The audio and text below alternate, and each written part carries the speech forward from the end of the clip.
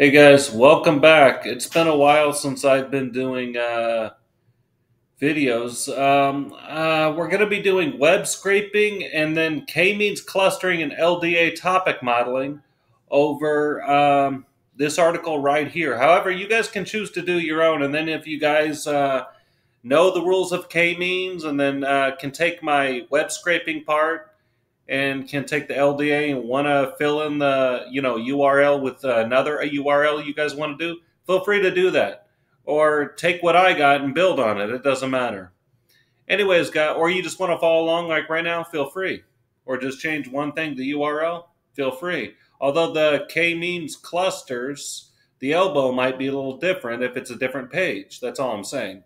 Anyways, guys, before we start, I chose the Hindustan Times because well, a few reasons. Number one, it's a very credible news source for not just news between India and Pakistan, India and China, and local Indian news. No, all over the world. It doesn't matter. Um, they follow everything, and they're very neutral uh, and truthful on a lot of issues as well. Um, and another reason is because a large, the largest portion of my audience is Indian. Therefore, you know, I kind of wanted to do something. Of course, I'd like uh, to draw in more. You know, more viewers the better. But you know, shout out to Indians. That's why I'm. You know, the Hindustan Times is not paying me to do this. I'm just promoting on my own. Anyways, guys, I chose the most neutral, non-divisive article. I, I doubt anyone can. This could cause any division. Anyways, guys, let's go to the notebook. Okay. You don't have to import pandas. I left it there. Okay, NLTK, and then pip install URL open, NLTK puncts. Okay, you guys got it? And then uh, URL request open, beautiful soup. That's the web scraping framework. There's the URL. If you guys want to do a different web page, feel free. Doesn't have to be news. However, the k-means clusters might be a little different, than which I'm about to go to if you guys are familiar with k-means. We're going to use the TDI vectorizer and LDA topic modeling as well. Open and read, AST, raw equals get the text. Tokens equals tokenize the word raw, the tokens. Print raw, that's the bottom of the page. Okay. And then the TDI vectorizer, import k-means also. Okay, the TDI vectorizer stop words English, because it's in English. Okay, and then x equals vector fit transform the tokens. Here's where we're going to pass all this right here. This is how we're going to get the elbow. Now, guys, as you can see, the first elbow is here, so we're going to go with two. If you wanted to give the algorithm a little more leeway, uh, this would be nah. That nah, never mind. It's two. I mean, there's no way around it. I mean, there's your first elbow. There's pretty much the only elbow. Let's say uh, this one was not as correct of a bend, and then maybe here, and you wanted to give it a little more leeway, and that one was more correct. Then feel free, but that's not the case, as you can see right here. It's the first and technically only real elbow. Okay. 2k equals true because that was the elbow, remember? Okay, model equals k means true k. Pass all those parameters right there, the max iter. Model fit, okay. Ordered centroids equals model cluster center argsort. Pass the splicing parameters, dash 1. There's the ordered centroids. B equals ordered centroids. Print model clusters and then there's the model cluster centers. The model labels equals model labels. I was going to do something else with that.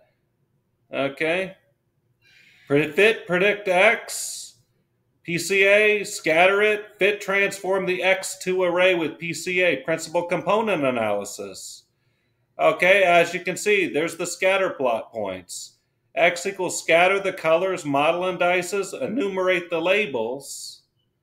Okay, annotate x on the x-axis and the y-axis. Remember this information parameter? Okay, and then the size equals 10. As you can see, there's only one that was a little bit off. You see the zero over there. All you, as you can see, most of them are pretty close and in range. There we go. Okay. Now, uh, back to what I was saying. Uh, let's say you do a different web page. Obviously, they're not all that similarities in what they say in the words. That's what the VTDI vectorizer helps for, not just the k-means and finding similarities. Remember, we also use the TDI vectorizer in content-based recommendation systems. See some of my other videos for that with Streamlit. And just content-based recommendations themselves. I've got the code as well. I've got many of those. I got collaborative filtering, and uh, I've got all kinds of Streamlit apps. Binary class, multi-class, uh, you name it. I got regression. See my other Streamlit videos. Okay, guys? And uh, let's get back to the code. We're going to do some more. As you can see, pass all this right here for data visualization. And uh, count vectorizer. Okay, the counter vectorizer, we're going to use that instead because we got to pull out some words. Okay, stop words equals English. You guys already know. Counter vec transform the token, the tokens. Okay, and then the LDA and components 10, random state 42 fit the doc. Okay, and then put pass these parameters right here, especially the online learning method for the advanced one. And then fit, and then random, and then get the feature names out. Pass that right here. The old way used to just be get feature names, and then ran. Okay, uh, it just used to be get feature names, and then pass this right here. Okay. So LDA components get feature names out. argsort, negative 10. As you can see, these are the name, these are the 10 words in each topic for 10. And then we're going to see, remember they start at 0, remember, and they go all the way to 9. Okay, and then the LDA components, 0 to 9, of course. And then uh, notice the difference, somewhat difference, in the words they choose. Okay. As you can see, this is about Castaway, so obviously there was a boat. You know? Um, try and take a word, um, build on what I did, you know? Why don't you guys do some data visualization? Or I might do that in another video, and we might do a little word count in the words they found, you know? With matplotlib, we could do bar charts we could do some more data visualization and maybe some statistics.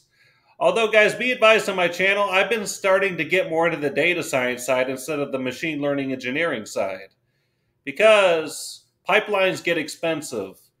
Therefore, uh, code in your notebook is free. If you guys help support my channel, I'll get back to uh, SageMaker. I remember I got a shout out to one uh, viewer who told me he wanted a reinforcement learning algorithm. You, I have not forgotten about you. I will get around to that when I get enough subscribers. Or I get more viewers, or people start subscribing for memberships. You can sign up for a membership. In fact, guys, later on, I was thinking about making some videos private for my loyal viewers who want to become members. And you just have to pay $4.99 a month. And you can unsubscribe anytime you want. I was thinking about possibly doing that in the future, way in the future. Anyways, guys, uh, you'd be helping me out a lot. Then I can get back on the cloud. Um, see my other video. I've got all kinds of SageMaker videos, just models itself, pipelines. I got a database video. See some of my other reinforcement learning videos. See, um, you name it, I got it on my channel. I'm sure if you're here, there's something you need, somebody else, somebody else needs. And you guys can uh, help me out by sharing my videos as well. Liking, subscribing, leaving a comment, even, you know? Leave a comment. Tell me what are the videos you guys want on the notebook. I'll let you guys know when I'm ready to get back on the cloud, and I'll do uh, what he said. see some of my other videos for uh, convolutional neural networks. I even got an AI web app with Streamlit. I forgot about that one. Check out my channel. There's over 130 other videos. If you're here, there's something, and they're all doing something different. You name it, I got it. Natural language processing with Streamlit, natural language processing itself, deploying one on Google Cloud with on AI platform. You guys name it, I got it. Check out my whole channel. I got more k-means clustering, like clustering DNA results. Also, classifying traits. Yeah, traits and using them to predict them on your ancestry DNA test or 23andMe, whatever DNA company you took it with. MyHeritage DNA, whatever, whatever, uh, any of them.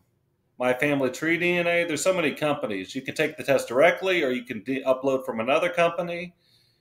And some companies only take tests directly because they want you to take it directly. It all depends. Well, anyways, guys, I got videos on that as well. I've got videos where you can uh, do on people's SNPs from that um, uh, academic websites where you can do k-means clustering, cluster Korean and Estonian DNA and compare them. As you can see, they're going to be on two different axes. Check out um, any of my other videos. You name it, I got it. I've got just regular improving a linear regression model with uh, by adding polynomial features and changing the polynomial degree. As you can see, that has the biggest impact, for bad or for worse. You name it, I got it. Um, check out my channel, guys. I'm sure there's something you need. Um, check out my reinforcement learning. I've got nearly all of the video game ones you guys I've even got reinforcement for learning. By video games, I mean the OpenAI gym with visualization. A lot of the other guys don't give you visualization of how the RL agent's doing. I got that though. Um, check it out. Like, subscribe, comments, comment anything, how you feel about it. That helps me out too. Anyways, guys, I hope you guys learned from my video. Stay tuned and don't worry. Uh, I'm going to continue this channel probably forever, you know?